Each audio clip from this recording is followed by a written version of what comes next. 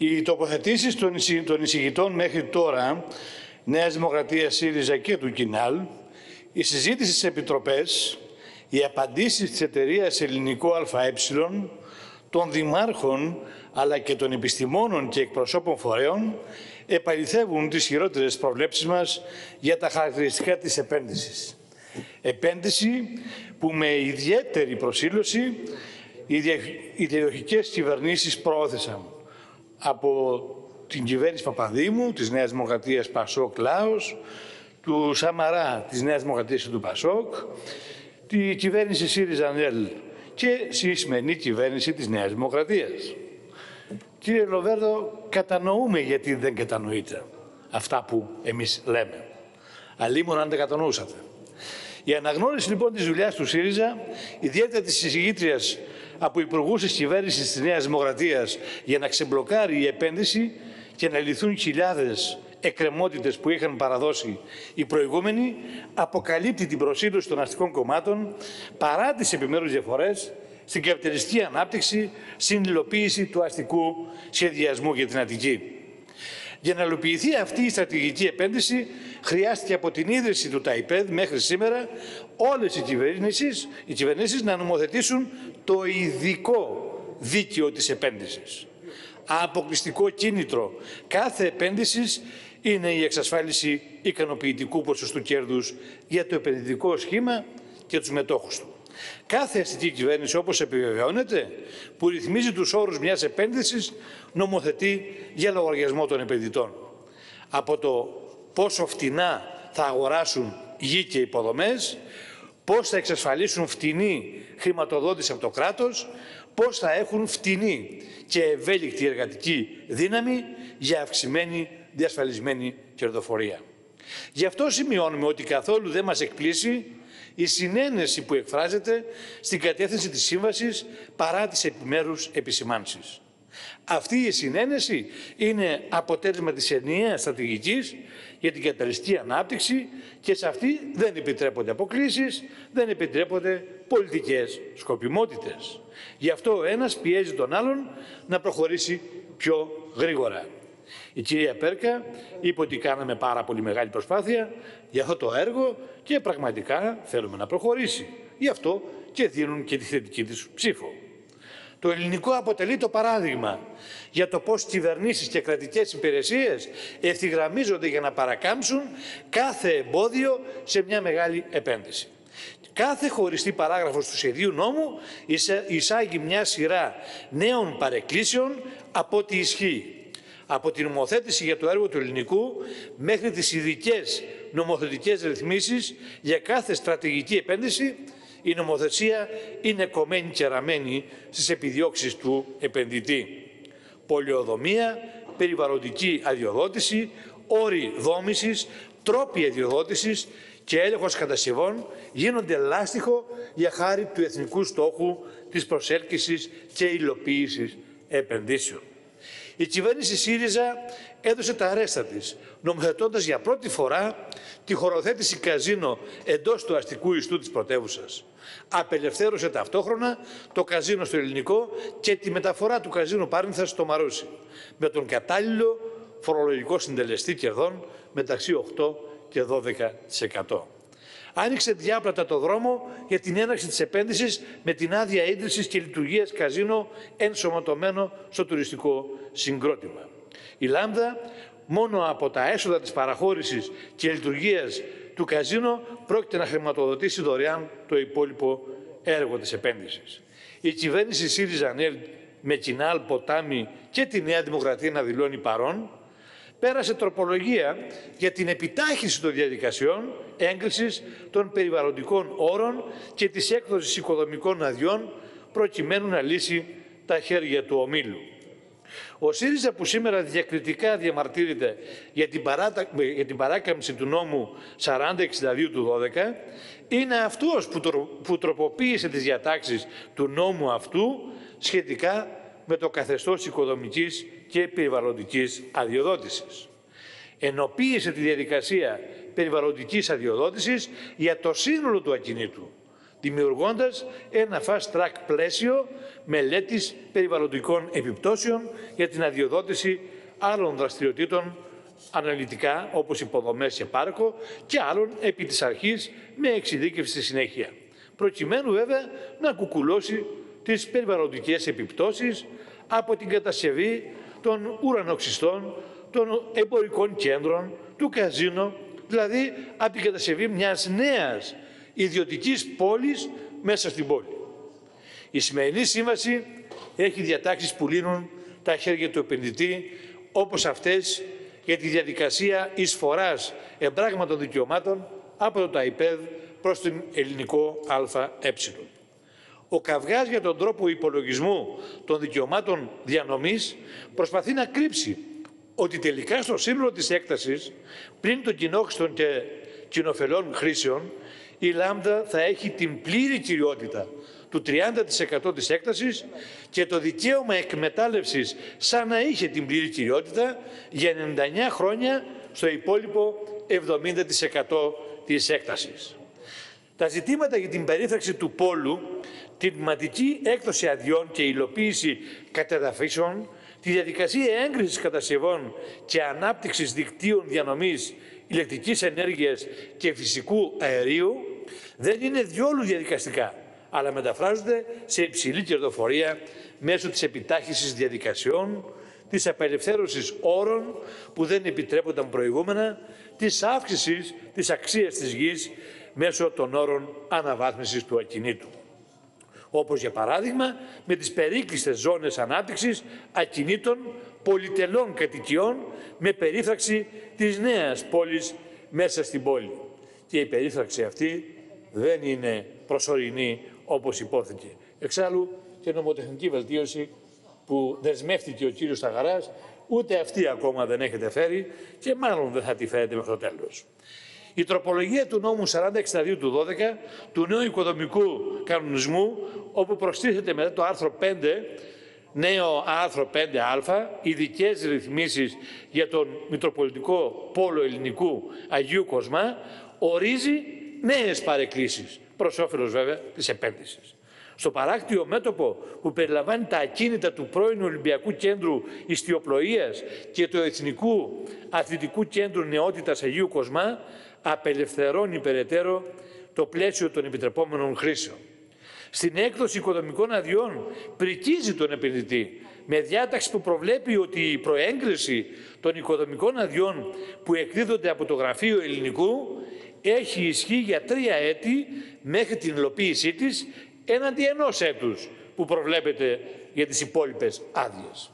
Για την ίδια απελευθερωμένη περιβαλλοντική αδειοδότηση ειδικότερα στις περιπτώσεις έκδοσης απόφασης του Κεντρικού Συμβουλίου Περιβαλλοντικής Αδειοδότησης, μπαίνει ακόμα πιο ασφικτική προθεσμία 10 εργάσιμων ημερών από τη συνεδρίαση, πέραν της οποίας ο επενδυτής προχωρά αυτοδίκαια, χωρίς κανέναν περιορισμό.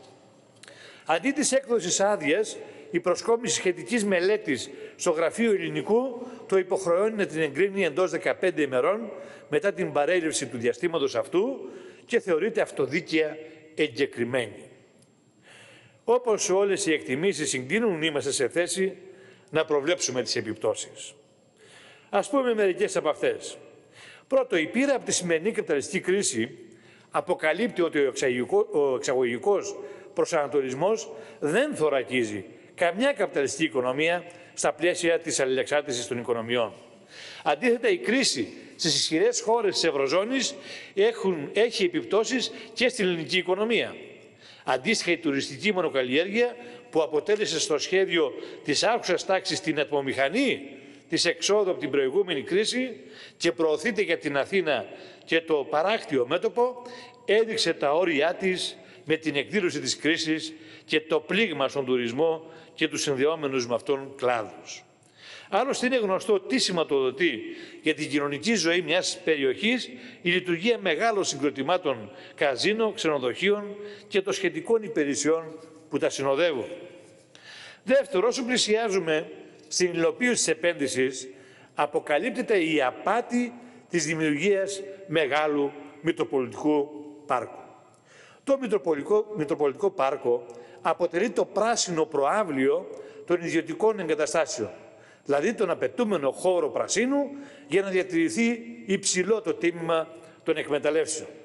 Εάν αφαιρέσουμε ουρανοξύστες και λοιπές εγκαταστάσεις αθλητισμού, εκθεσιακές, νευλιακές, από τα 2.000 στρέμματα απομένουν μόνο 668 στρέμματα υψηλού πρασίνου. Το πάρκο πολιοδομείται για να αξιοποιηθεί και προορίζεται στον χώρο του σημερινού αεροδιαδρόμου, σε περίπου 100 στρέμματα, όπου πρόκειται να φυτευτούν δέντρα. Στην ιδιωτική πόλη των 6.000 στρεμάτων προβλέπονται μόνο τέσσερις κεντρικές είσοδοι και 7 δίωδοι διέλευσης, που μπορούν να λειτουργήσουν και ως πύλες ελέγχου της ροής προσέλευσης και ελεύθερης πρόσβασης. Ακόμα και αυτές οι δίωδοι στο διάγραμμα της διανομής φαίνεται να στενεύουν ώστε να αποτρέπουν τη διέλευση των εκτός των τυχών εργαζομένων. Ακόμα και το ελεύθερο για τους κοινούς θητούς ένα χιλιόμετρο παραλίας που θα δημιουργηθεί με νέα λιμενικά έργα όχι μόνο δεν επαρκεί για να καλύψει τις ανάγκες των κατοίκων, αλλά ούτε και αυτή δεν θα είναι δωρεάν.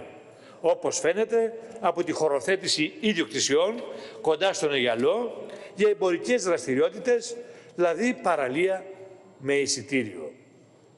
Η υλοποίηση του project ελληνικό, εκτός των άλλων, στερεί από τους εργαζόμενους του Λεκανοπεδίου μια από τις τελευταίες μεγάλες ελεύθερες παραλίες μέσα στον Μητροπολιτικό Ιστό. Με οικονομικά τύχη αποκλείεται το λαό διασφαλίζοντας την αξία των ακινήτων και με το άρθρο 5 εισάγεται τα υπερατλαντικά πρότυπα πολιοδόμησης σε μια πόλη μέσα στην πόλη και με φυσικά τύχη. Η προστασία και ανάδειξη των αρχαιολογικών ιδρυμάτων θα αναβαθμίσει την αξία των πολυτελών ακινήτων που στην αυλή τους θα έχουν και αρχαιολογικό χώρο. Οι έξι ουρανοξύστες ύψους 200 μέτρων στο ύψος της Ακρόπολης και κτίρια από 16 ε, έως 50 και 70 μέτρων ύψους δημιουργούν ένα συνεχές τεράστιο τείχος το οποίο περιβάλλει, περιβάλλει το λεγόμενο πάρκο και απλώνεται σε μήκος 2,5 χιλιόμετρων παράλληλα με την παραλιακή λεωφόρο. Αποτελούν παρέμβαση που αλλάζει συνολικά τη φυσιογνωμία της Αττικής με αρνητικά αποτελέσματα τόσο οπτικής όχλησης στο τοπίο της Αττικής όσο και κλιματολογικών επιπτώσεων στο μικροκλίμα της περιοχής.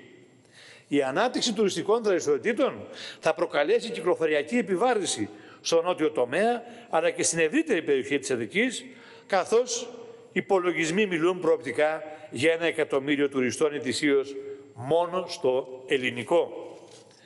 Η υλοποίηση τέτοιων επενδύσεων επιδρά στην αξία της γης και στις τιμές κατοικίας και επαγγελματικής στέγης.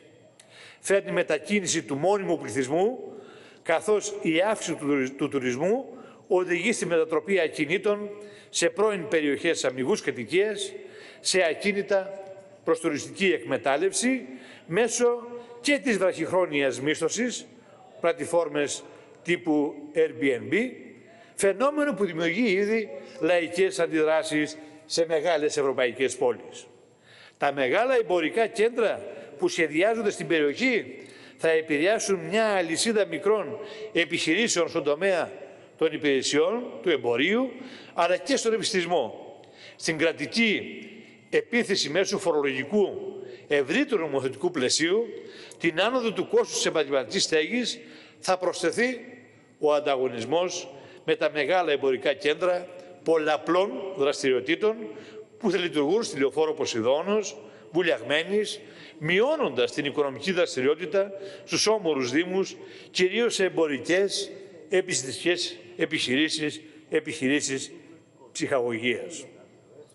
Όσον αφορά τις θέσεις εργασίας, οι όροι αμοιβής και οι συνθήκες δουλειάς θα είναι αυτοί που εφαρμόστηκαν και εφαρμόζονται στα μεγάλα έργα και συνολικά στους κλάδους.